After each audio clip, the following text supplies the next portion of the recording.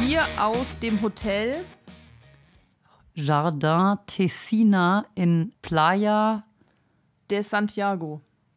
La Gomera. genau, wir sind hier gerade live und in Farbe noch auf La Gomera, die Insel der Kanarischen Inseln. Ihr habt es vielleicht mitverfolgt auf Instagram, in den Stories, in den Posts, in den Reels, wo auch immer. Aber wir sind aktuell noch hier und das ist hier eine wirklich Live-Aufnahme. Wir sitzen hier in diesem Hotel, was Maggie gerade genannt hat. Das einzige Vier-Sterne-Hotel auf der Insel. Ja, genau. La Gomera ist nicht so bekannt und auch noch nicht so touristisch erschlossen. Und wir haben jetzt hier das äh, ja, einzige Hotel, was wirklich direkt an dem GR 132, also unserer Route, die wir gelaufen sind, liegt, ausgesucht, um nochmal nach der Umrundung zwei Tage die Flossen hochzulegen. Und jetzt nehmen wir hier direkt sozusagen gerade eingerollt äh, an unserem Ziel den Podcast für euch auf. Genau, deshalb muss ich gleich mal vorweg sagen, wir sitzen hier so sehr gedrungen an einem Mikrofon, weil ich konnte nur ein Mikrofon mitnehmen auf diese Reise, weil wir hatten eh schon so viel Gepäck. Und wir sitzen hier in einem Zimmer, die Lüftung läuft im Hintergrund, es sind Menschen draußen. Wir wissen nicht, wie laut die Geräuschkulisse ist, deshalb entschuldigt uns schon mal, falls da mal irgendwie so ein Sound im Hintergrund ist. Das können wir nicht beeinflussen, aber es ist halt real und es ist ja authentisch. Also wir sitzen hier gerade wirklich wenige Stunden nach unserer Inselumrundung in diesem Hotel und darum soll es heute auch gehen in diesem Podcast, nämlich um den GR 132, den Maggie gerade schon angesprochen hat. Das ist die Inselumrundung von La Gomera und wir haben das in vier Tagen gemacht. Wir sind gerannt, also so Trailrunning, ja, Wanderhiking, Powerhiken, Joggen, wie auch immer man das nennen mag, einmal um die Insel. Und wie es dazu gekommen ist und wie es so war und wie, was wir erlebt haben, wie wir die Insel finden, ob wir es empfehlen können und so, das wollen wir euch alles so in den nächsten Minuten ein bisschen zeigen und erklären. Und da würde ich erstmal die erste Frage an Mackie abgeben, denn du hast dir das ja überlegt, dass wir das machen. Wie kam es eigentlich dazu, dass du die Insel hier auf La Gomera umrunden wolltest? Ja, also ich hatte irgendwie, wie bei so vielen Dingen, La Gomera mal gehört, mal gelesen, irgendwie wahrscheinlich im Zusammenhang eben mit den ganzen anderen kanarischen Inseln, Gran Canaria, Teneriffa etc. Und La Gomera war irgendwie wenig präsent so in meinem Kopf. Und dann habe ich irgendwann angefangen, das so ein bisschen Research zu betreiben. Wir waren ja auch schon mal ähm, auf Gran Canaria und wir waren auch schon mal auf La Palma und äh, ich war auch schon auf diversen anderen Inseln hier auf den Kanaren, aber eben noch nie auf La Gomera. Und dann habe ich eben geguckt, ob man hier wandern oder Trail laufen kann und bin dann im Internet tatsächlich auf äh, eine Website gestoßen, die im Endeffekt so diesen GR 132 so ein bisschen, ähm, ja, ich sag mal, zeigt und promotet. Also GR bedeutet so was ähnliches wie Grand Route, also so eine große Runde. Und diese GR-Wege sind eigentlich Fernwanderwege in Europa, die mit so rot-weißen Symbolen gekennzeichnet sind. Die gibt es in verschiedenen Ländern. Da gibt es GR1 bis GR, ich weiß nicht was. Und hier auf La Gomera gibt es eben zwei und einer ist eben einmal um die Insel. Und ich fand die Idee cool, einmal um diese Insel zu laufen und habe dann angefangen, mich eben weiter damit zu beschäftigen. Da wir gesagt haben, wir wollen eigentlich gerne wieder irgendwie was machen auf den Kanarischen Inseln im Frühjahr, wo es bei uns halt echt zum Laufen schlecht geht mit dem Schnee und so. Und ähm, jetzt ist auch eben, ja, was für ein Zufall, noch der Transgran Canaria. hat sich das dann irgendwie angeboten, dass man das einfach in der Woche vor dem Transgran Canaria macht. Und da das ungefähr 120 Kilometer sind, haben wir gesagt, okay, wir teilen es irgendwie auf und gucken halt, dass wir das irgendwie in vier Tagen machen. Kann man wahrscheinlich ähm, auch schneller rennen oder kann man eben auch irgendwie in der Woche wandern. Aber ich fand vier Tage einfach ganz gut. Dann ist man nicht total erschöpft danach, aber man hat schon jeden Tag auch ein gutes Pensum. Und du hast mich dann gefragt, ob ich das mitmachen will vor dem Transcan Canaria. Richtig gute Idee, dachte ich mir so. Ich will ja nur die 126 Kilometer da laufen. Nee, aber ich fand es gleich mega geil. Ich habe gesagt, ich bin sofort dabei, weil mir diese Insel quasi auch noch gefehlt hat auf meiner Karte, also auf meiner Bucketlist sozusagen. Du hast es dann hauptsächlich geplant, weil man muss dazu sagen, Maggie ist immer die, die das plant. Also die kümmert sich eigentlich um alles. Sie macht die Route, sie organisiert die Hotels. Deshalb bin ich da schon mal der komplett falsche Ansprechpartner, was man da so empfehlen kann. Ich kann dann vielleicht Tipps geben zur Verpflegung beim Laufen oder so, aber was die, was die Streckenkoordination und alles anging, war Maggie sozusagen der El Jefe, kann man sagen. der Boss. Maggie der Boss. Und dann äh, ging es für uns los am, lass mich kurz überlegen, was ist denn heute für einer? Heute ist der 20. Wir sind am 15. geflogen. Also es fühlt sich jetzt schon an, als wären wir hier irgendwie drei Wochen, vier Wochen. Ja, das ist echt krass irgendwie. Also La Gomera ist ja auch so die Insel der Aussteiger. Ich glaube, da kommen wir später nochmal dazu. Hier ist man echt äh, relativ schnell so disconnected von allem. Und gerade wenn man dann auch noch so auf diesem GR unterwegs ist, das ist, ähm, das sind nicht so viele Leute, ähm, dass man einfach irgendwie so, ich sag mal, weg von der Realität kommt und irgendwie man denkt, man ist schon ewig da, obwohl man irgendwie fünf Tage da ist oder so. Das trifft es echt gut und auch gut, dass du es nochmal sagst mit den Aussteigern. Das ist ein riesiges Thema hier. Da sprechen wir auf jeden Fall nochmal drüber. Aber das schon mal zur Einordnung, warum wir uns so fühlen, als wären wir hier schon seit drei Wochen und nicht erst seit fünf Tagen. Wir haben aber auch halt viel erlebt. Wir haben jeden Tag den Ort gewechselt. Wir haben immer was anderes gesehen. Und dadurch wirkt es natürlich auch so, als wären wir hier schon einfach ewig gewesen. Aber es ging vor fünf Tagen los. Am 15. Februar sind wir hierher geflogen. Die Anreise nach La Gomera, und das ist wahrscheinlich auch der Grund, warum es eben gar nicht so bekannt ist und so mega touristisch ist, ist wahrscheinlich auch, dass es keine Direktflüge gibt. Also man muss immer über eine andere Insel fliegen. Wir sind über Gran Canaria geflogen. Das heißt, es sind schon mal fünf Stunden Flug. Das ist auch nicht so wenig, muss man sagen. Und dann steigt man eben um.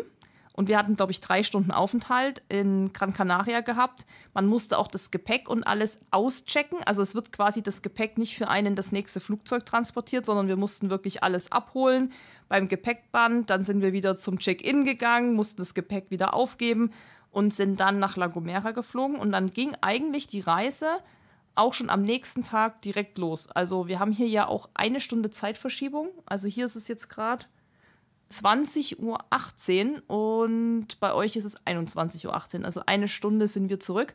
Das heißt, wir kamen, glaube ich, so wann an? 18 Uhr, 17, 18 Uhr roundabout in unserer ersten Unterkunft. Und vielleicht, Maggie, willst du schon mal was zu diesen Unterkünften sagen, beziehungsweise welche Rolle die Unterkünfte bei dieser ganzen Tour überhaupt gespielt haben? Ja, noch kleines Add-on. Ich glaube, die meisten Leute reisen hier mit der Fähre tatsächlich an.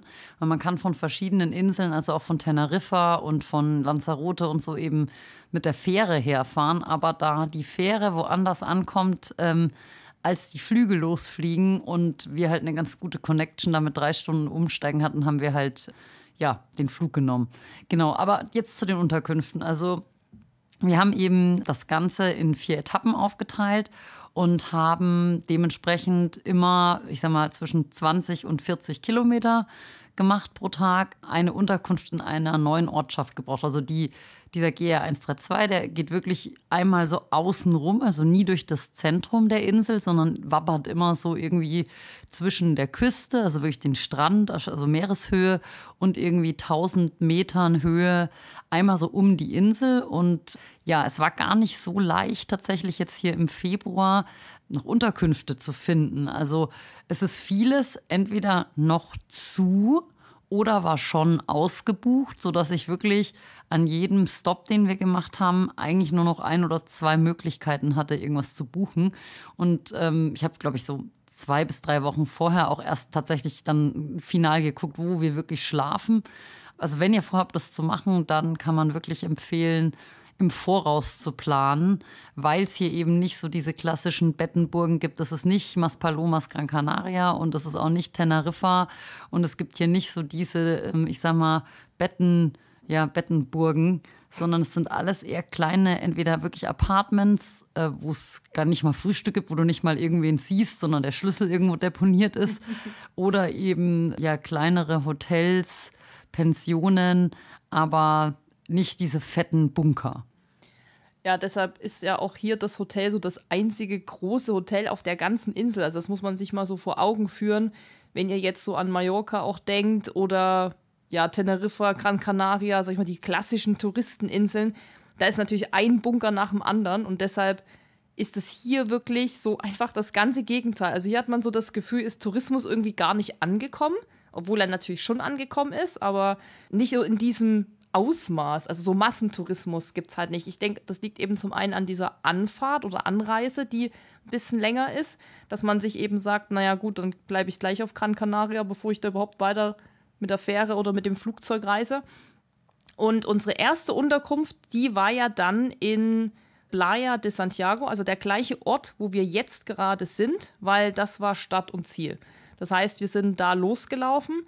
Das liegt im Süden, ungefähr wie viel? Ein, zwei Kilometer unterhalb vom Flughafen ist das. Mhm. Man muss sich das aber auch so vorstellen, der Flughafen, der hat genau einen Schalter, der hat ein Gepäckband und der hat eine so eine Hütte und der hat eine so eine kleine Landebahn. Also wir haben heute schon noch mal irgendwie, wo wir diese Landebahn so von oben gesehen haben, schon so gedacht, naja, also wie man da landen kann und abfliegen kann, ist uns eigentlich auch ein Rätsel, weil die ist wirklich so kurz, es ist so unspektakulär und da landen auch am Tag vielleicht zwei, drei Flieger maximal. Mit Binter Airlines ist das. Also wir sind ja hier wirklich jetzt mit dem Hotel relativ nah am Flughafen und vorhin kam mal ein Flugzeug, ne, was man das direkt so über uns geflogen ist. Ansonsten ist hier wirklich, sag ich mal, wie Totentanz, was das angeht. Das heißt, man kommt eben auch nicht so oft hierher. Also da muss man auch ein bisschen checken dann, wie, sind die, wie ist die Fähre oder wie ist der Anschlussflug. Das ist eben nicht so eine Massenabfertigung. Und genau, also wir waren sozusagen oder sind bei diesen, unterhalb dieses Flughafens. Und da waren wir in der Unterkunft Maggie, jetzt bist du wieder dran. Die Unterkunft hieß Pension La Gaviota. 37 Euro pro Nacht, also Schnäppchen, direkt am Strand, total basic natürlich, aber war echt, also für unsere Zwecke eigentlich wunderbar. Da war ein Supermarkt ums Eck und eine Pizzeria. Da haben wir uns dann irgendwie so durchgesnackt, wie wir uns eigentlich die kompletten vier Nächte oder vier Tage halt durchgesnackt haben, einfach immer geguckt haben, was gibt es irgendwie vor Ort, Supermarkt, Restaurant. Da hatte ich auch gar nicht vorher groß irgendwie was vorgeplant oder so, sondern wirklich nur diese Unterkünfte reserviert und äh, dass man halt weiß, wo man nachts schläft. Wir hatten ja auch noch Gepäck mit mehr als unseren Laufrucksack und das haben wir einfach dann jeden Tag von so einem Taxi-Driver, der hieß Goyo oder Gocho, ich weiß gar nicht genau, auf jeden Fall Top-Service. Goyo. Goyo. also wenn ihr ähm, das machen wollt, dann könnt ihr auch einfach schreiben und dann schicke ich euch die Kontaktdaten von diesem guten Mann. Der hat wirklich einfach jeden Tag unser Gepäck in der Unterkunft, in der wir waren, abgeholt und ist dann vor 16 Uhr in die neue Unterkunft gebracht, hat einfach von mir vorher die Adressen bekommen. Es hat super funktioniert und alles andere, also außer sozusagen Gepäcktransfer und Übernachtungsmöglichkeit war auch gar nicht groß geplant, außer natürlich die Route. Ja, die war geplant, klar. Genau, sag doch gleich mal was zu der Route, weil dazu kamen auch schon Fragen so auf Instagram von wegen, wie habt ihr das geplant, wo geht die lang? mit welchem Gerät, wie habt ihr euch navigiert. Also das ist ja sozusagen der Kern der ganzen Geschichte, ist ja die Route. Anhand der Route hast du ja dann auch geguckt, wo können wir schlafen, wo macht Sinn, wie geht's weiter.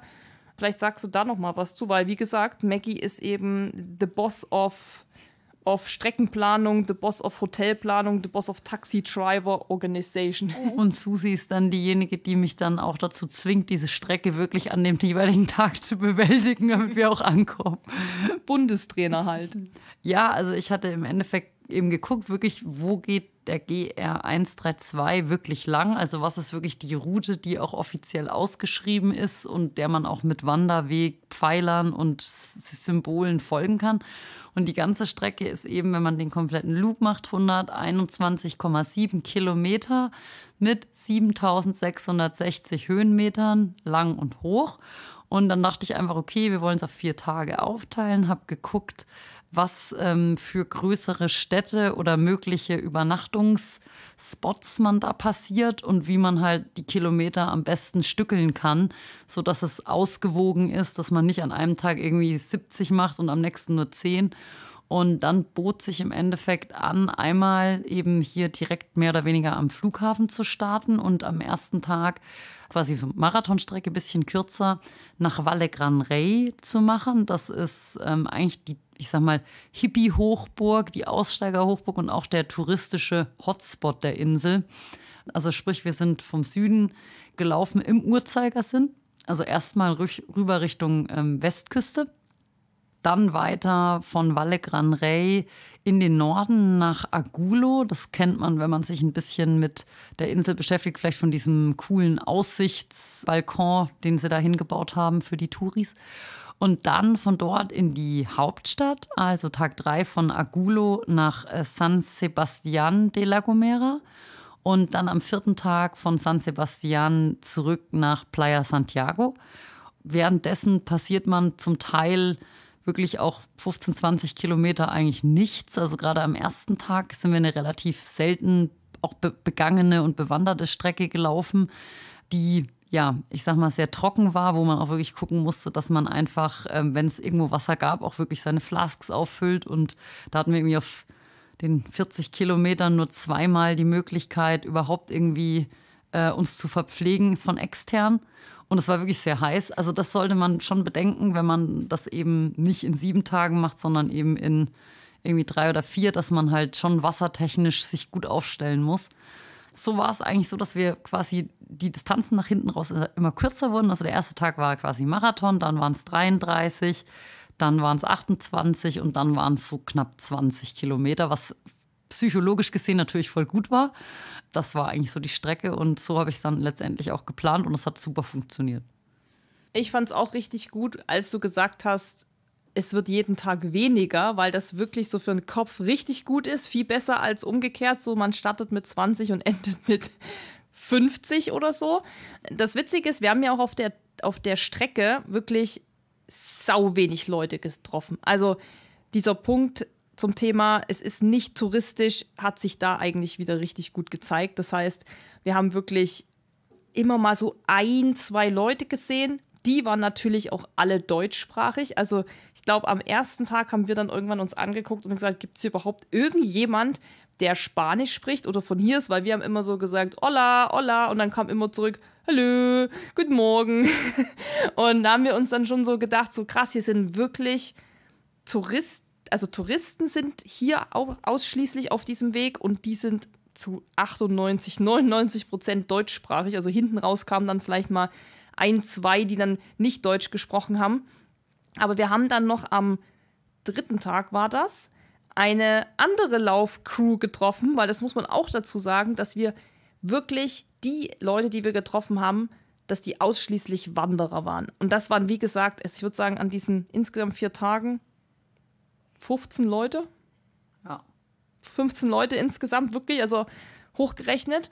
Keiner davon war irgendwie Trailläufer und wir haben auch sonst nie jemand gesehen, der irgendwie mal gerannt ist oder so. Am dritten Tag kam uns dann eine Laufcrew entgegen und das war die Laufcrew von den Laufcoaches. Und Maggie hatte mir damals schon davon erzählt, als sie das geplant hat, meinte sie so, ja, da gibt es auch so eine, so eine Crew oder so eine Website, so ein Anbieter, die so ein Trailrunning Camp anbieten auf La Gomera. Genau auch so vor dem Transgran Canaria, dass man das drei Tage macht und dann fährt man oder fliegt man sozusagen nach Gran Canaria weiter, um da eventuell an dem Race teilzunehmen über die haben wir dann auf der Strecke schon immer mal gesprochen. So, ja, die müssten doch jetzt eigentlich bald loslaufen. Und dann haben wir nochmal nachgeguckt auf der Website und dann so, ja, am 19. oder 18. soll es losgehen. Wir so, hä, das ist doch heute. Und Maggie weinte schon immer so, na, die müssten uns doch dann eigentlich mal entgegenkommen, weil man muss dazu sagen, wir sind ja andersrum gelaufen, also Uhrzeigersinn, als dieser Weg sonst geht. Der geht eben entgegen des Uhrzeigersinns. Und die sind entgegen des Uhrzeigersinns gelaufen, also hätten die uns quasi irgendwann mal entgegenkommen müssen. Und wir dachten dann noch so, ja, das wäre irgendwie voll witzig, aber eigentlich die Wahrscheinlichkeit ist auch gering, weil wer weiß, wann die loslaufen. Wir laufen immer viel früher vielleicht los. Und am dritten Tag, wirklich, wir sehen keine Menschenseele. Plötzlich Maggie so, das sind doch Trailläufer. und ja, das waren dann auch Trailläufer und da waren dann auch noch Leute dabei, die wir auch noch kannten. Das war ja noch viel krasser. Also wirklich, La Gomera hat 20.000 Einwohner. Ich glaube, das muss man noch mal dazu sagen. 20.000 Einwohner. Davon leben 10.000 in der Hauptstadt. Und 10.000 ist ja schon ultra wenig für eine Hauptstadt. Das heißt, der Rest ist irgendwie übers Land verteilt. Du triffst wirklich niemand und dann triffst du auch noch Leute, die du kennst aus Deutschland, die da laufen. Und die haben aber die Route ein bisschen anders gewählt. Genau, es gibt nämlich, wie ich äh, vorhin schon mal gesagt hatte, zwei von diesen GR-Fernwanderwegen auf La Gomera.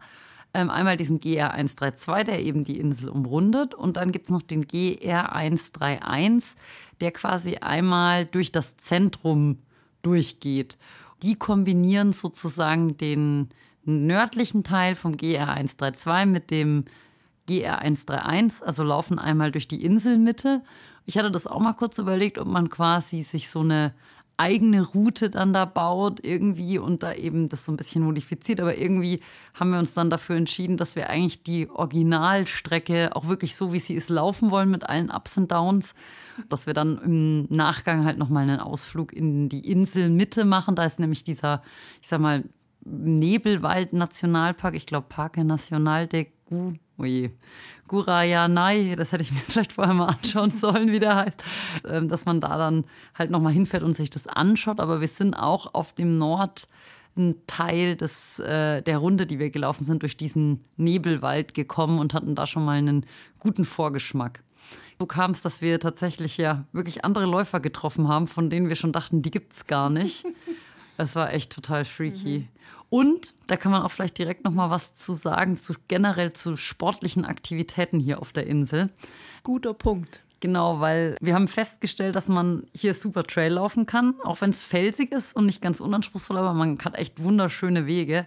Aber man kann eine Sportart hier wahrscheinlich noch viel besser machen. Und wir haben tatsächlich nur am allerletzten Tag eine Person gesehen, die mit einem Rennrad unterwegs war.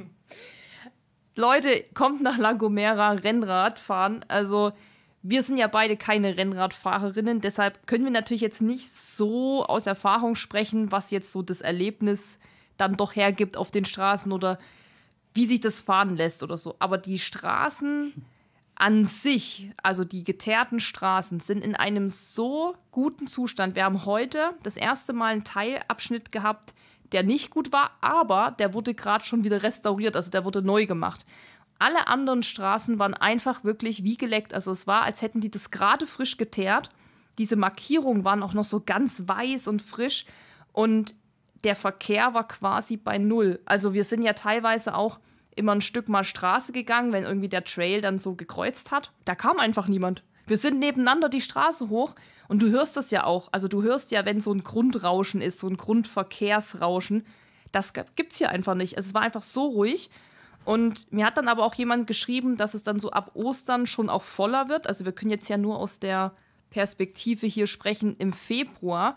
Wir wissen jetzt nicht, wie es im Sommer ist, ob es dann hier total voll ist. Aber das, was wir jetzt erlebt haben, war wirklich 1A Straßenverhältnisse. Mega schön. Die schlängeln sich so lang. Sehr, sehr, sehr viele Kurven. Aber breite Straßen, gut ausgebaut. Und ja, also wir können jetzt, wie gesagt, nicht aus eigener Erfahrung sprechen, wie es dann ist zu fahren.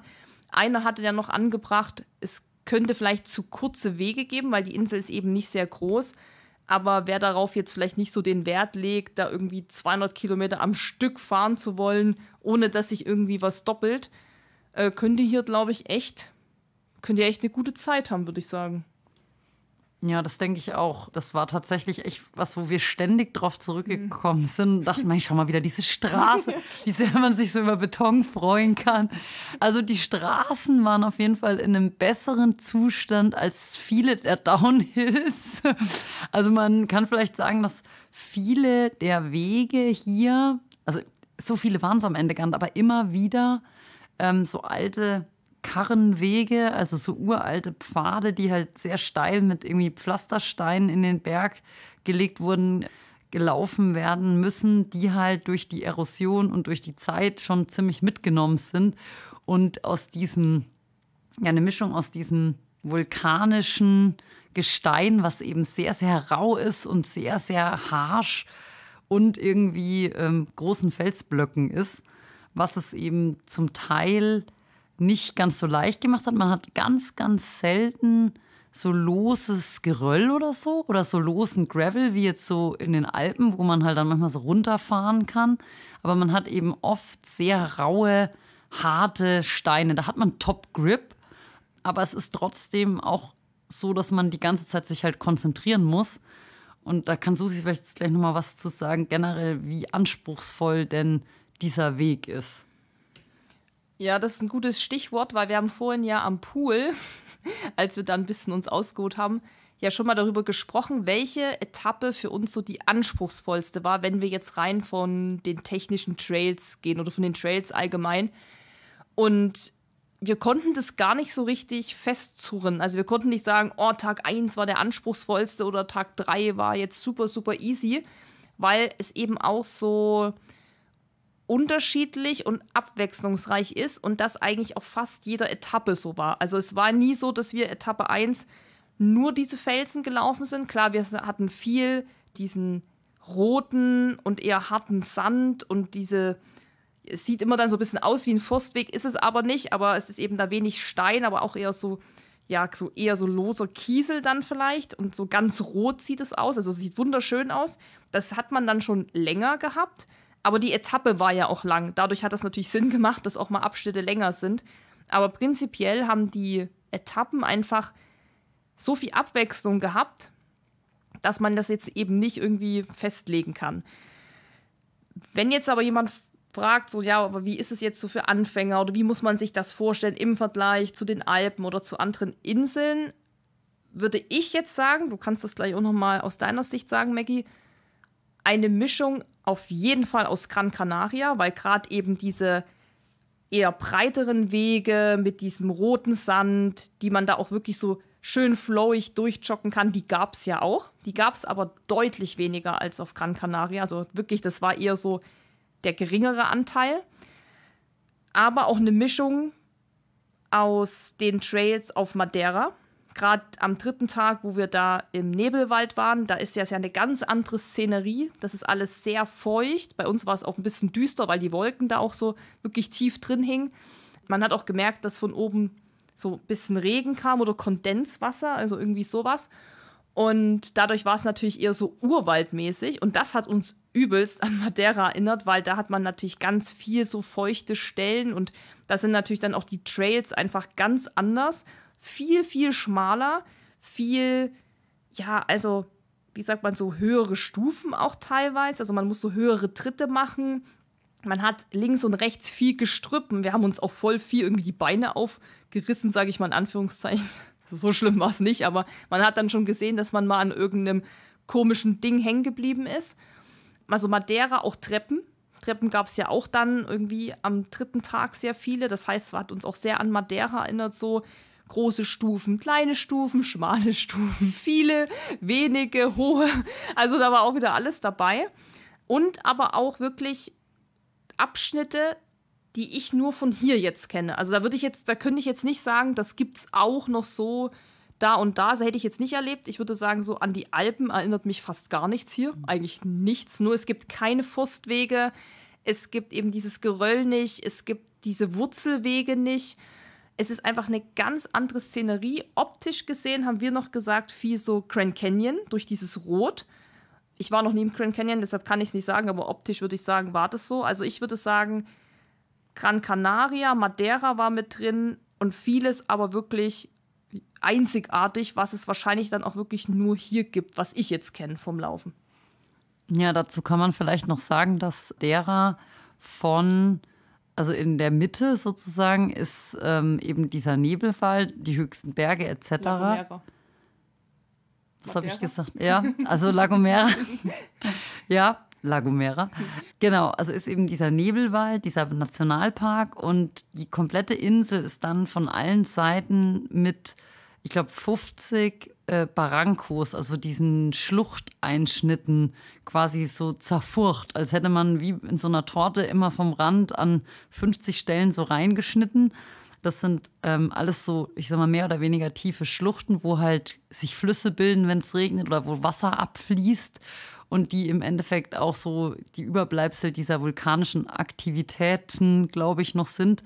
Und dieser GR 132 geht ja einmal um die Insel rum und passiert dementsprechend mega viele von diesen Barrancos. Das heißt, es geht immer wieder runter auf Seehöhe, ähm, zum Teil auch am Strand entlang.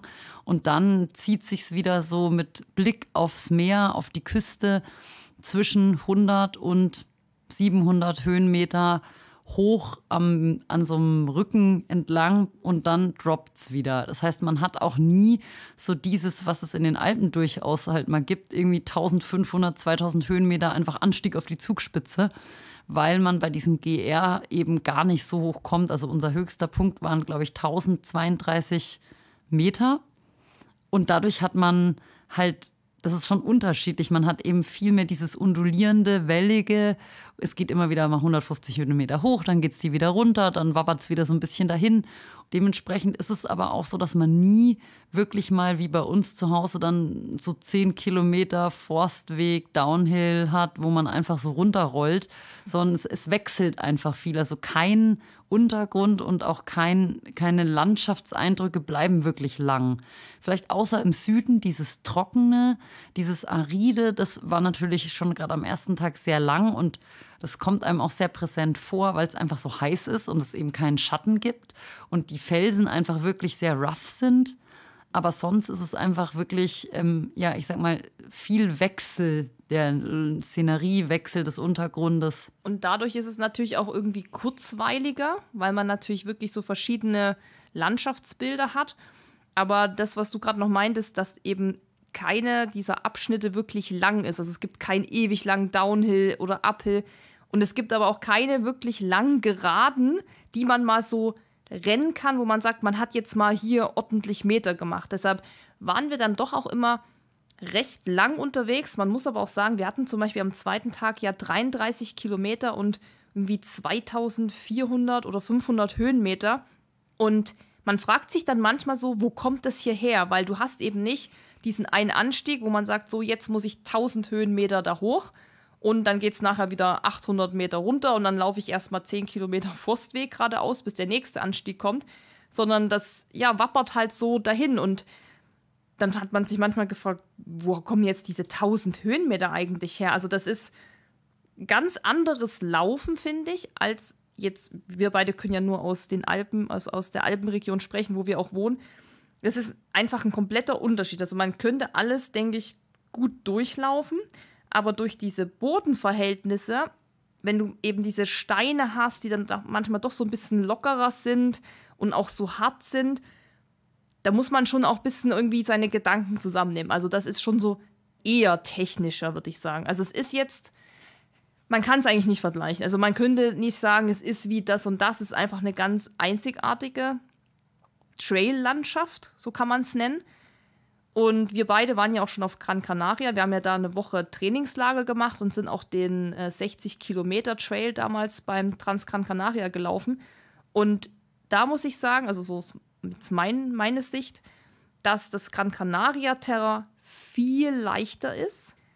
Man denkt es gar nicht so, weil erstmal so, da ist es ja, da wappert es ja auch viel so daher, aber da hatte ich das Gefühl, das war anspruchs, nee, also hier ist es anspruchsvoller auf La Gomera. Ich weiß nicht, Würdest du da mitgehen mit der Beobachtung? Ja, schon.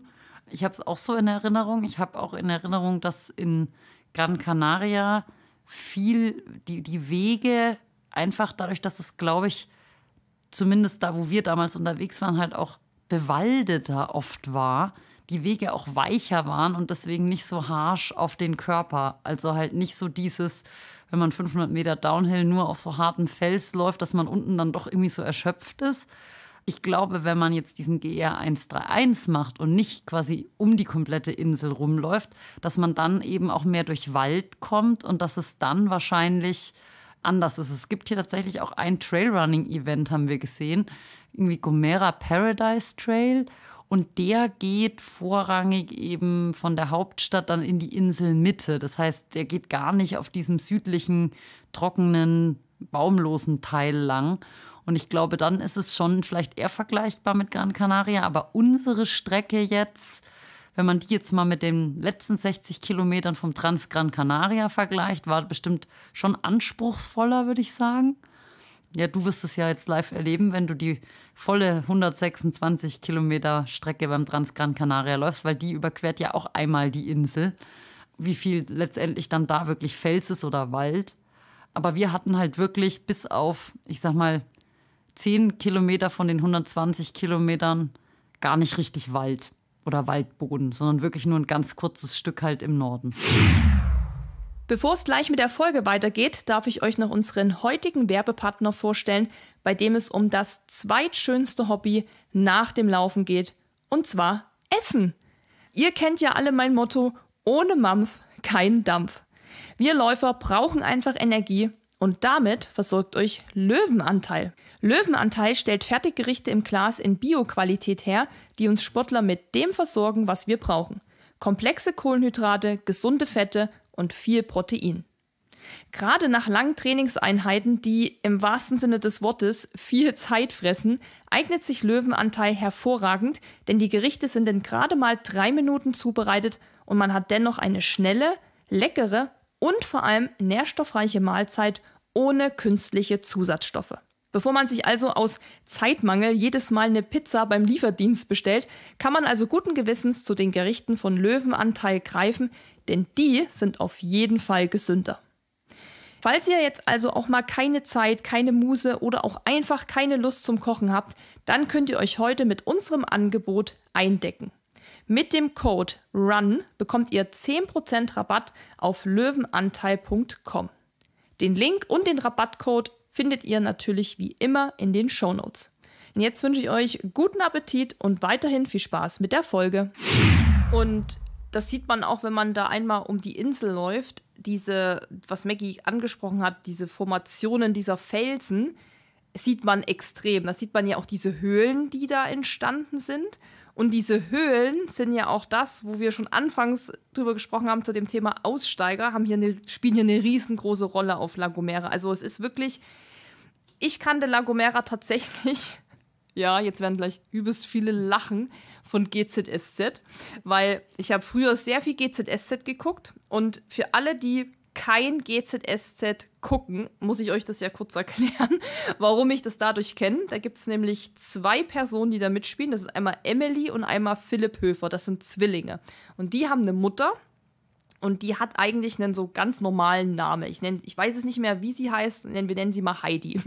Und ähm, Heidi wollte sich damals aber neu entdecken, zu sich finden, Selbstfindungstrip machen und hat sozusagen ihre beiden Kinder in Berlin im GZSZ-Kiez quasi, wo die dann eingestiegen sind, bei dem Vater abgegeben.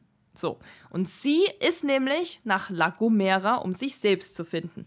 Und da habe ich das das erste Mal gehört und die hat dann auch ihren Namen abgelegt und hat sich dann Janani genannt. Also die heißt jetzt nicht mehr Heidi, sondern Janani. Und Janani kommt auch immer mal wieder so bei GZSZ vor. Also die wird dann auch alle Lichtjahre mal erwähnt oder dann heißt, ich fliege mit Kate, das ist das Kind von Emily, fliege ich mal zu Janani nach La Gomera. Daher kannte ich das das erste Mal und dann, als ich dann irgendwann älter war und nicht mehr so wie GZSZ geguckt habe, sondern auch mal Dinge mit mehr Inhalt, da bin ich über, also da habe ich natürlich auch von La Gomera dann mehr erfahren und das war vor allem zum Thema Aussteigen, Hippies, sich selbst finden. Und dann dachte ich immer so, das ist halt so voll das Klischee, ne? So GZS hat das Klischee einfach genommen, hat es aufgegriffen. Ja, und dann sind wir hierher und haben uns dann irgendwann so gedacht, das ist das erste Klischee, was ich kenne, was wirklich eigentlich noch krasser ist, als wie man es so immer finde ich, bei uns so mitbekommt.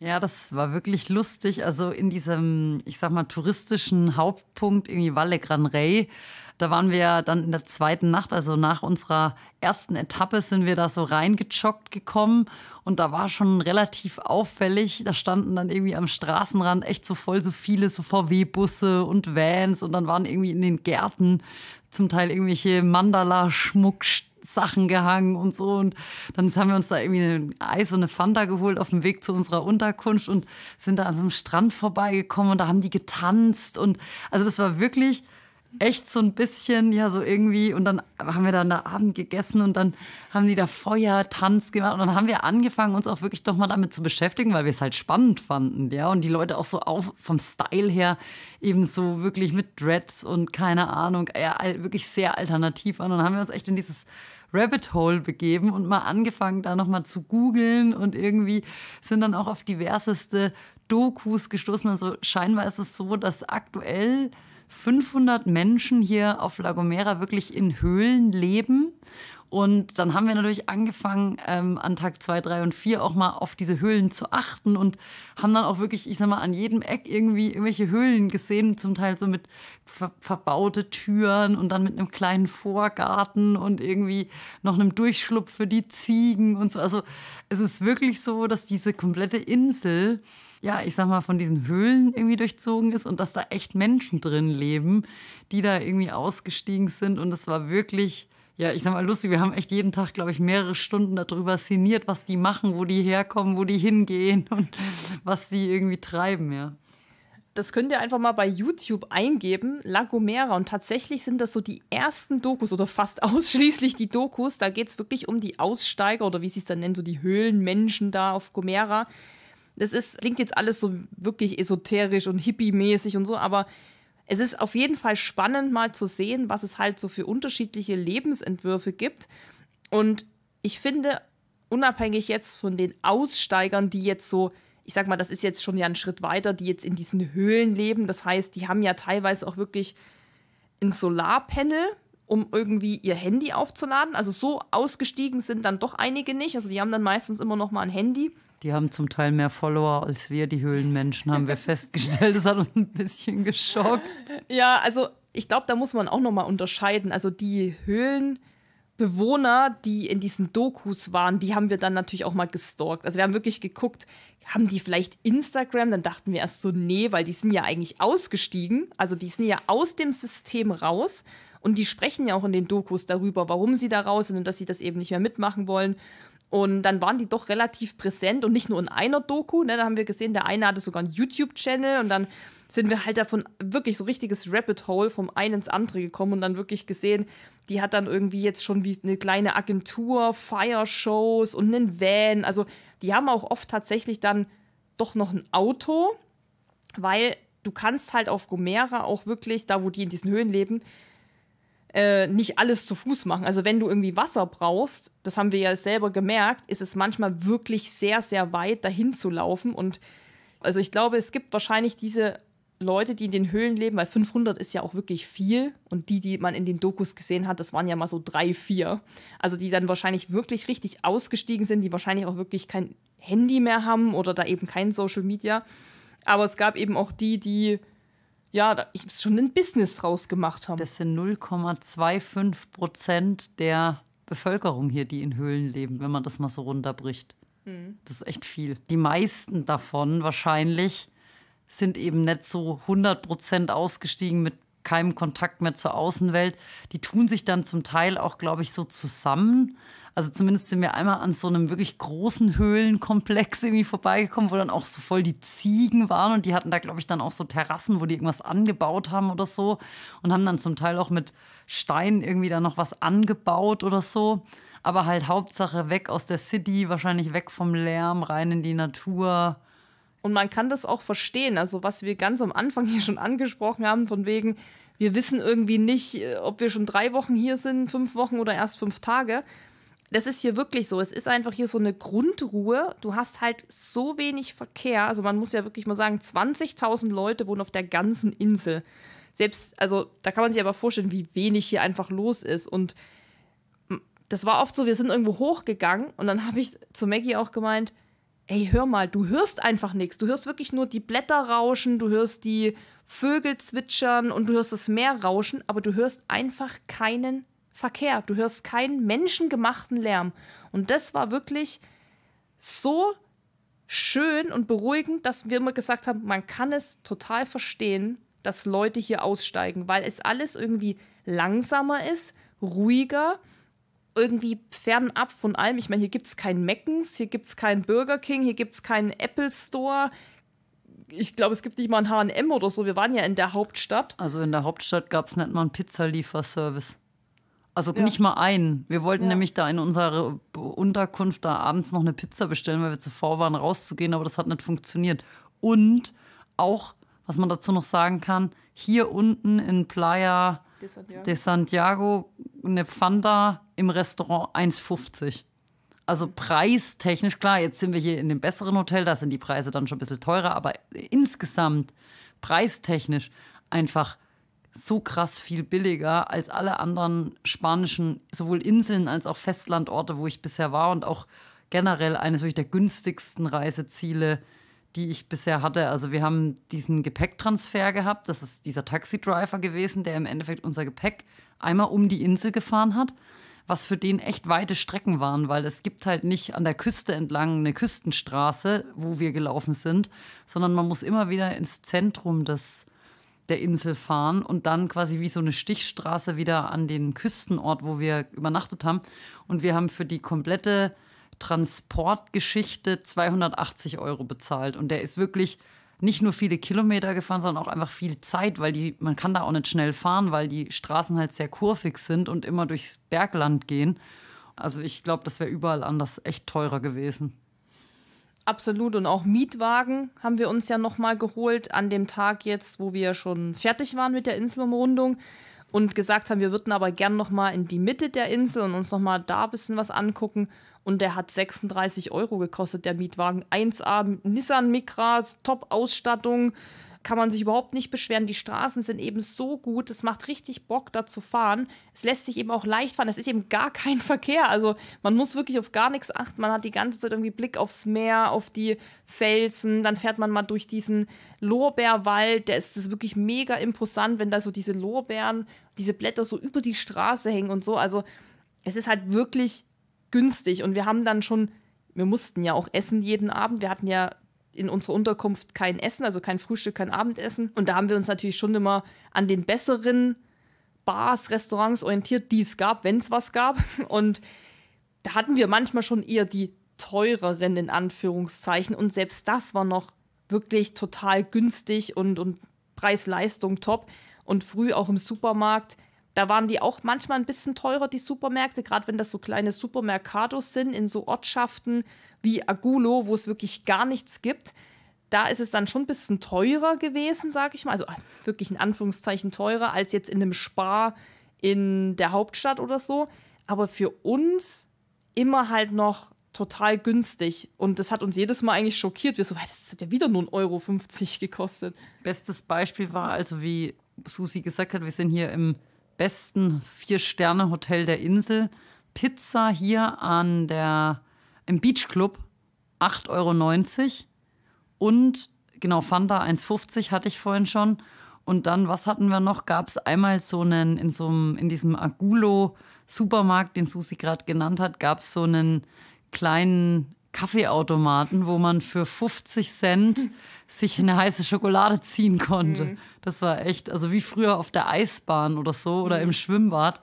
Diese kleinen braunen Becher voll retromäßig. Also hier ist irgendwie so ein bisschen die Zeit stehen geblieben oder der Tourismus einfach noch nicht so angekommen und die Welt irgendwie noch ein bisschen in Ordnung. Absolut. Und deshalb ist es, glaube ich, auch wirklich dieses, die Insel der Aussteiger. Die Leute, die hier Urlaub machen, also die gibt es ja auch. Und aktuell sieht man ja nur Deutsche hier. Es ist wirklich krass. Auch hier in dem Hotel redet eigentlich jeder Deutsch. Auch die an der Rezeption reden fast nur noch Deutsch. Das sind aber eben auch alles Leute, und das, mit ein paar unterhält man sich ja mal so ab und zu, die dann auch sagen, hier machen eben Leute Urlaub, die einfach ihre Ruhe wollen. Und das merkt man halt auch, weil die sind natürlich dann auch nicht laut. Oder das sind ja keine, die so all-inclusive, ich trinke aus Plastikbechern Wodka eh schon mittags um zwölf Typen sind, sondern die wollen hier wirklich entspannen, die wollen Ruhe. Die Luft ist hier mega. Das Klima ist zumindest jetzt im Februar, keine Ahnung, wie es im Hochsommer ist, aber jetzt wirklich so geil. Abends, man kann das Fenster aufmachen. Es ist immer, weiß ich nicht, so gut. Es ist einfach so eine gesunde Luft irgendwie. Wir hatten leider ein, eine Unterkunft. Wir haben die dann irgendwie so Schimmelbutze genannt, weil, oh, da haben wir so schlecht geschlafen, wie in keiner anderen Unterkunft. Das war wirklich Hölle. Und haben dann halt gesehen, dass an der Wand irgendwie so ein bisschen Schimmel war und haben gesagt, ja, hier riecht es auch schon so feucht und so schimmelig. Und als wir dann so raus sind, war das wie, als würde unsere Lunge erstmal wieder komplett gereinigt werden von dieser guten Luft. Und die Luft ist wirklich, auch wenn es heiß war, war die immer noch gut. Die war nicht so stickig oder so. Nee, genau. Man ist ja doch immer in Meeresnähe, weil ja. die Insel einfach nicht so groß ist. Und man hat immer so ein bisschen ja auch diesen Salz, dieses Salzwasser in der Luft, was eben saugesund ist. Und selbst bei der Hitze war es eben nie so diese trockene Hitze, wie so jetzt in der Wüste oder so, wo man irgendwie das Gefühl hat, dass die Schleimhäute so austrocknen, sondern es war einfach immer eher so eine, ja, so eine gute Luft einfach. Und auch nachts jetzt, wenn man hier draußen rumgeht und so, das ist echt, also es ist schon, ist schon angenehm und ich glaube, man wir haben auch schon gesagt, aus Spaß so, man kann hier gar nicht krank werden, weil man trifft auch niemanden, bei dem man sich anstecken kann. Hm. Also haben wir gewitzelt, ja. Ja, man ist wirklich viel alleine und ist einfach wirklich, man hat seine Ruhe. Also dieses, man macht hier Urlaub, um wirklich seine Ruhe zu haben, das passt hier wirklich. Also selbst hier in diesem Hotel, was glaube ich lange nicht ausgebucht ist, ist natürlich schon mehr los, ist halt schon voll so, aber eben angenehm. Das sind halt alles wirklich Leute, die eben auch hier einfach nur ein Glas Wein trinken wollen und entspannen wollen. Und wir sind auch an einer an einem Resort, nenne ich es mal, es war bei Weitem kein Resort, vorbeigekommen am letzten Tag. Da haben wir dann auch, waren auch wieder nur Deutsche, da meinte die eine Dame so, dass sie da drei Wochen Urlaub macht und dass das immer sehr schnell ausgebucht ist und dass das für sie das Paradies ist, weil hier kommt man ganz schlecht hin. Also da gibt es dann eben auch nicht so die Straßen, die da hinfahren. Das heißt, wenn man dann da einmal ist, dann ist man da auch in, diesem, in dieser Unterkunft. Und die haben aber angeboten Yoga, Motivationscoaches, Malerei, was haben die dann noch so gemacht? Irgendwas gebastelt oder so. Und es war halt direkt am Meer, eine ganz gepflegte Anlage. Und es war einfach wirklich so schön. Und wir saßen da auch, wir haben ein Kokoseis gegessen und nur gedacht, ja, also hier könnte man jetzt auch eine Woche wirklich sein und könnte ein Buch schreiben. Weil hier kann man wirklich komplett abschalten, weil es gibt eben nichts, was dich ablenkt. Aber trotzdem, und das war immer so unser Spruch auch die ganzen Tage, wir haben immer gesagt, egal in welches Kaff wir kamen, außer Walle, Kranrei, das kann man vielleicht mal außen vor lassen, weil das eher so der Touri-Hotspot ist, aber alle anderen Ortschaften und Käfer, wo wir dann auch mal irgendwie bei Maria González eine Cola geholt haben oder so, war ja immer irgendwie tote Hose. Wir haben immer gesagt, irgendwie war so unser Spruch, hier ist es tot, aber trotzdem ist was los, weil es waren trotzdem immer mal so Leute draußen. Da saß mal einer irgendwie am also auf so einer Mauer, dann gab es wieder drei, die bei Maria irgendwie ein Bier getrunken haben, aber es war eben irgendwie schon nichts los und trotzdem war was los, aber es war so angenehm. Ja, weil die Leute, es sind ja schon Leute da, aber die mhm. haben alle eben keinen Stress. Es ist nicht so dieses Hasseln, wie wir das auch, glaube ich, von uns daheim kennen, wo irgendwie an so einem Dorfplatz immer so ein Gewusel und ist und, und irgendwie jeder Mods wichtig ist und laut und, und, und Geschrei, sondern es ist hier wir saßen einmal an so einem Dorfplatz, da hatten wir uns mittags irgendwie so eine Fanta Lemon geholt. Übrigens bestes Getränk, Schweppes Lem Limon und Fanta Limon. und da war auch, dann hat man eben schon im Hintergrund so Leute gehört, die da irgendwie sich am Gartenzaun unterhalten haben. Aber das war so Hintergrundrauschen. Da hat man so ein bisschen die Vögel gehört, aber irgendwie war es trotzdem leise. Ich glaube, es war leise, weil du eben keinen Straßenlärm mhm. hast. Du hast keine Motorräder, es hupt niemand, es kommt keine LKWs. Und ich glaube, dann ist eben so dieses, die paar Leute, die da sind, die keinen Stress haben, die, die leben einfach nur da und wollen eben auch keinen Stress haben. Und das war schon so, auch für uns, glaube ich, so dann wie Urlaub. Also es war wirklich richtig entspannend. Die, die Leute, die du auf dem Trail mal getroffen hast, die waren eben auch entspannt. Und dann war so die ganze Zeit, waren wir alleine. Wir waren jetzt so 98, 99 Prozent einfach alleine. Und das war halt schön. Und trotzdem war, hat man sich nicht einsam gefühlt oder so. Aber lass uns mal noch so abschließend so ein paar Tipps hier raushauen, weil es gibt ja schon so ein paar Sachen, wenn man sowas macht. Es muss ja nicht die Lagomera-Umrundung sein, es kann ja auch eine andere Insel sein oder zu Hause, wenn es heiß ist, was auch immer. Welche Sachen wir empfehlen würden. Ich würde vielleicht mal anfangen mit einer Sache, weil ich die heute auch in meiner Insta-Story gepostet habe ist das Thema Sonnenschutz, also auf La Gomera oder auch Gran Canaria, die ganzen kanarischen Inseln, muss man sagen, da brennt schon viel der Planet. Und hier ist eben viel Schatten. Wir haben ja schon gesagt, wenn man nicht gerade im Nebelwald ist oder in diesem Lorbeerwald, dann hat man hier gar keinen Schatten. Ganz, ganz selten kommt mal so eine schattige Ecke, die vom Fels so gemacht wird, aber da ist man nach 100 Metern auch wieder vorbei und die Felsen reflektieren halt auch viel. Dieser rote Weg reflektiert viel und was hat man schon oft gemerkt. Wir haben immer gesagt, boah, wir werden wieder hart gegrillt hier. Und Sonnenschutz ist hier wirklich ein riesiges Thema. Also wir haben uns viel eingecremt. Am ersten Tag haben wir ein bisschen zu wenig eingecremt. Dafür haben wir dann die nächsten Tage doppelt so viel gemacht und haben dann auch wirklich bewusst auf der Strecke uns immer nachgecremt. Also da wirklich 50er Sonnencreme einpacken, auch beim Laufen und sich immer wieder nachcremen, weil man sieht es leider auch hier an vielen Leuten, die jetzt hier Urlaub machen. Da pellt sich schon die Haut und das sieht wirklich auch nicht mehr, das ist auch nicht gesund. Das tut ja dann auch weh, wenn du Sonnenbrand hast und so, aber es ist vor allem hauptsächlich nicht gerade gut für die Haut und für den Körper. Deshalb würde ich sagen, das auf jeden Fall, wenn ihr hierher kommt oder auf die Kanaren allgemein, ey, braucht echt viel Sonnenschutz, Sonnencreme und sowas. Dann wichtig, wichtig auch Wasser, hatte ich ja gerade schon mal angesprochen. Also wir hatten zum Teil, also jetzt mal von dieser GR132-Route ausgehend, wirklich, ich sag mal, Strecken, wo 15 bis 20 Kilometer eigentlich keine Möglichkeit war, irgendwas aufzufüllen.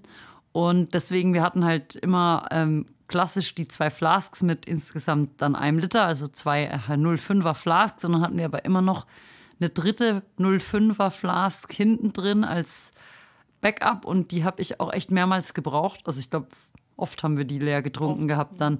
Weil ich glaube, wir haben zum Teil zwischen fünf und sieben Liter getrunken, würde ich sagen. Also wirklich viel getrunken. Dann hat man, hatten wir in einem von den zwei Flasks halt immer noch so Elektrolyte, Gemisch irgendwie, weil einfach man doch auch wirklich die ganze Zeit konstant geschwitzt hat. Also auch im Downhill, wenn man sich eben dann so mit diesen Steinen so konzentriert, ist es halt doch irgendwie anstrengend. Und ähm, also Wasser mitnehmen und auch am Tag vorher, bevor man wirklich losläuft, gucken, vielleicht so ganz grob, bis wohin muss man ungefähr kommen, bis man halt dann wieder Wasser nachladen kann. Im Norden hat es vielleicht, weiß ich gar nicht so genau, habe ich nicht drauf geachtet, mal den einen oder anderen Bach, aber eigentlich war da auch nichts. Also im Süden hier ist es wirklich trocken wie in der Wüste so. Da war auch, also da gibt es zwar immer mal so Bachläufe, aber die waren alle ausgetrocknet. Und ich sag mal, wenn da so ein dünnes Rinnsal durchläuft, das sollte man vielleicht auch nicht unbedingt trinken. Also da bringen auch einem so Water Purifying Tablets oder einen Filter tatsächlich nichts, sondern da muss man wirklich an einen Wasserhahn oder halt an eine Wasserflasche. Ja, so Verpflegung allgemein ist, glaube ich, ein Thema, weil wenn man nur zwei Buden auf der Strecke hat, dann sollte man auf jeden Fall ausreichend Gele, Riegel und so einpacken. Was wir nicht so empfehlen können, ist irgendwas mit Schokolade, weil das zerläuft auf jeden Fall. Wirklich, also ich hatte super viele Elektrolyte und ISO-Getränke dabei, also dass man wirklich da immer wenigstens da abgedeckt ist wir hatten auch mal einen Apfel dabei oder mal noch ein Stück Semmel. Also da kann man schon ein bisschen mehr reinpacken, weil das kann man ja auch noch mal sagen, was halt ultra praktisch ist und das liebe ich ja auf diesen Inseln. Man braucht halt sonst nichts. Also es ist halt anders, wenn ich hier eine Inselumrundung mache, als wenn ich die Alpen überquere. Wir hatten hier wirklich nur jeder eine, ein ganz dünnes Longsleeve und eine ganz dünne Windjacke dabei Ganz unten im Rucksack haben wir nie gebraucht, nie rausgeholt, nur im Fall der Fälle. Und ansonsten hat man halt ein T-Shirt, eine kurze Hose, Socken, Schuhe an. Ganz wichtig natürlich auch Sonnenbrille und eine Cappy oder irgendwas, was den Kopf schützt vor der Hitze. Aber das war's. Man braucht keine Handschuhe, man braucht keine dicke Regenjacke, man braucht keine Tights. Meine, wir haben ja immer rumgewitzelt, dann am Abend immer davor so, ja, ob wir morgen mal die lange Regenhose einpacken. Aber hier regnet es halt wirklich fast nie. Also das ist ja hier so das Thema, dass hier wirklich ganz, ganz wenig Regen fällt im Jahr. Und das finde ich so geil, dass man sich viel weniger Gedanken machen muss um diese Klamotten, um das, die Klamottenthematik, kann man sagen, weil man wirklich nichts braucht. Das dünnste T-Shirt am besten mit dem dünnsten Stoff, was luftig ist, eine kurze Shorts und ab geht die Luzi. Das macht es, finde ich, wieder einfacher zu planen als wirklich so eine Alpenüberquerung, wo man viel mehr Zeug braucht auch Downjacke und so haben wir hier nie gebraucht. Wir haben das alles dabei. Also der Koffer ist voll mit so langem Zeug. Wir haben dann ja immer so rumgewitzelt, so welche von den 32 Jacken, die ich mit habe, ziehe ich heute an, aber die braucht man halt nie. Von daher ist man da eben so platzsparend in dem Rucksack unterwegs, dass man wirklich mehr Platz hat für Wasser und für Essen. Und das ist halt wiederum gut.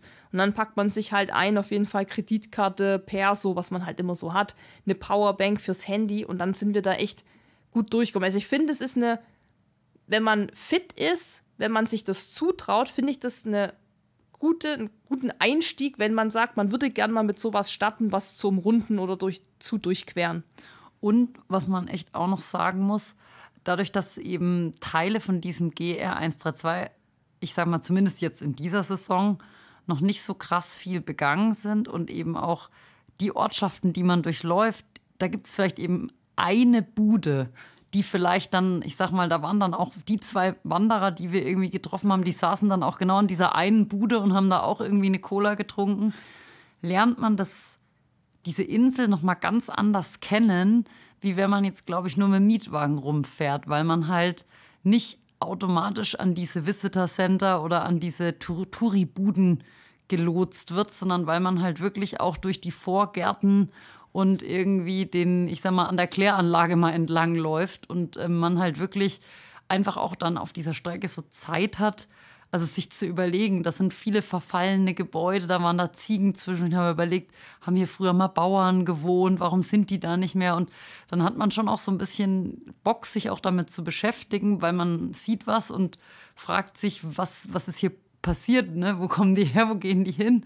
Ähm, und das ist eigentlich echt ganz schön. Und wir haben festgestellt, dass man einfach die Orte deutlich intensiver und im Gedächtnis bleibender erlebt, wenn man die zu Fuß sich erarbeitet, wie wenn man halt mit dem Auto dann da hoch in den Nationalpark mal zum Viewpoint fährt. Und wenn man da hochgegangen ist, dann hat man auch so dieses durch die Vegetationszonen durch und ja, einfach irgendwie ist man da näher dran und es bleibt irgendwie mehr im Gedächtnis.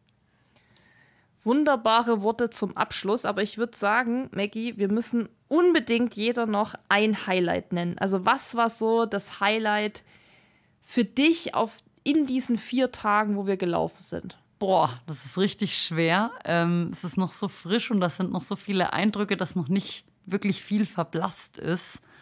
Mein Highlight war tatsächlich am letzten Tag der wunderschöne, ich sag mal, Sandstrand, den wir gesehen haben. Von, also kurz so zehn Kilometer nach der Hauptstadt und zehn Kilometer vor unserem Ziel sind wir eben auch wieder im Süden gewesen, wo es sehr, sehr trocken ist. Und ähm, wir kamen irgendwie über so einen Hügel drüber und da war eine riesengroße Bucht, in der genau ein Haus stand. Und da sind wir da, also da haben wir diese Bucht von oben gesehen, das war einfach phänomenal schön.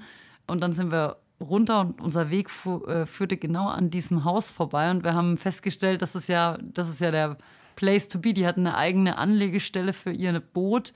Und dann haben wir auch gesagt, okay, also wenn das dein Haus ist, so, da kannst du wirklich aussteigen. Also da kommen am Tag zwei Wanderer vorbei und sonst geht dir da auch keiner auf die Nerven. Und das war, also wenn ich jetzt so über alles nachdenke, wird das wahrscheinlich das Landschaftsbild sein, was mir am längsten im Gedächtnis bleibt. Ah ja, siehst das hatte ich schon wieder mhm. nicht verdrängt, aber ähm, das ist natürlich jetzt noch nicht so lang her, wie du sagst, man hat es noch nicht so verarbeitet ich muss sagen, mein Highlight hat tatsächlich gar nichts mit der Landschaft oder der Strecke zu tun, weil da mochte ich einfach die Abwechslung, dieses dieser Wald, diese Felsböden, dann diese roten Steine, dann mal wieder weiße Kalk-Vulkansteine, also einfach die Abwechslung, was mir, glaube ich, im Gedächtnis bleiben wird und was auch mein Highlight war, war wirklich einfach die Ruhe. Mhm. Einfach kein Straßenlärm. Ich weiß nicht, ich bin ganz ehrlich, ich weiß nicht, wie ich klarkommen soll, wenn wir wieder zu Hause sind und dann auch diese ganze, ja, dann geht ja die Saison fast wieder los, Motorradfahrsaison. Wir wohnen ja da an diesem Hotspot bei uns zu Hause, wo es wirklich laut ist. Und hier war das wie, als hätte man mein Gehör mal so gereinigt. Also viele kommen hierher, um wahrscheinlich ihre Seele zu reinigen, weil sie aussteigen. Und ich habe hier mein Gehör gereinigt, weil das war für mich das Highlight, weil ich bisher noch in, an keiner, auf keiner Insel war oder an keinem Ort, wo es überall eigentlich ruhig war. Eigentlich hatte Susi die ganze Zeit nur mein Schnaufen im Nacken bergauf oder mein Jammern. Ja. Äh, ja, genau, wir hatten noch nicht erwähnt, dass es mir am ersten Tag nicht ganz so gut ging. Dazu mehr auf dem Instagram-Profil von Susi im Highlight La Gomera. Mich sterben und äh, wiederbeleben sehen. Nee. Äh, nee, aber das stimmt, was du sagst. Ja, also prinzipiell sind wir gut durchgekommen. Es gab Ups und Downs, aber ich würde sagen, so in Summe, nachdem du dich nach dem ersten Tag wieder hochgekämpft hast, lief es ja super für uns und wir haben uns da auch nett gestresst. Und das war auch so ein bisschen hier. Hier kann man sich irgendwie gar nicht stressen. Und irgendwie würde ich jetzt auch gern hier noch ein halbes Jahr bleiben und erstmal irgendwie komplett nicht nur mein Gehör reinigen, sondern auch mal mein Gehirn reinigen. Weil, ja, also es ist wirklich sehr, sehr empfehlenswert. Es ist natürlich immer ähm, der eine, den wir hier getroffen haben, der hier ein Haus gekauft hat, ein Deutscher in Agulo hat ein Haus gekauft und ist da immer so ein paar Monate, der hat ja immer gesagt, es kommt drauf an, was du eben erwartest.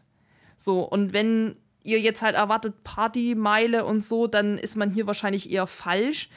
Oder wenn man jetzt hier sehr viel baden will im Meer, ist man vielleicht auch eher falsch, weil der Atlantik ist wirklich hier zu der Zeit auch richtig rau und sehr, sehr, sehr hohe Wellen, zwei, drei Meter hoch. Wir haben die auch gesehen und dachten so, boah, krass, also da willst du wirklich nicht rein.